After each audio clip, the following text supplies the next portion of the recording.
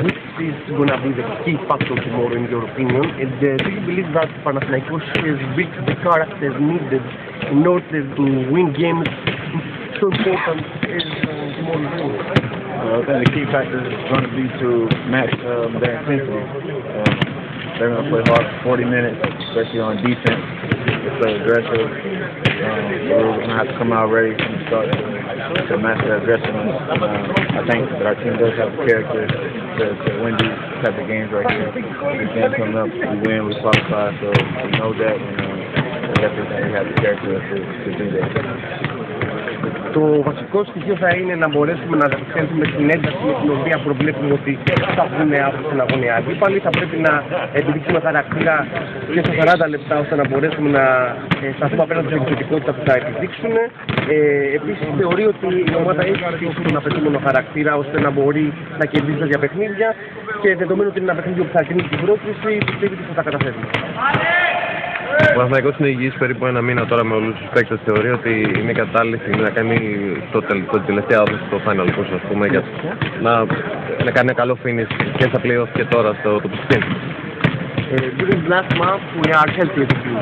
Do you believe that it's the proper the moment so as for us to be able to uh, make the good things that we need, uh, both uh, referring to our to Greek championship and uh, Europe? Oh yeah, most definitely. I mean, uh, all season we've been fighting through injuries. And I think now is the right time that we have everybody healthy. And it's uh, a very most important time of the year, so I definitely think that that's going to help us propel uh, in the end of the season and help us win the games we need to. Σίγουρα αυτό είναι πολύ σημαντικό. Όλη, το, όλη τη χρονιά ε, είχαμε πολλούς τραυματισμούς. Ε, δεδομένου ότι είμαστε στο πιο κρίσιμο- στην πιο κρίσιμη καμπή της σεζόν, ε, πιστεύω ότι το στοιχείο αυτό ότι είμαστε υγιεί θα είναι θετικό ώστε να μπορέσουμε να ανταπεξέλθουμε και να κερδίσουμε τα παιχνίδια που χρειαζόμαστε. We من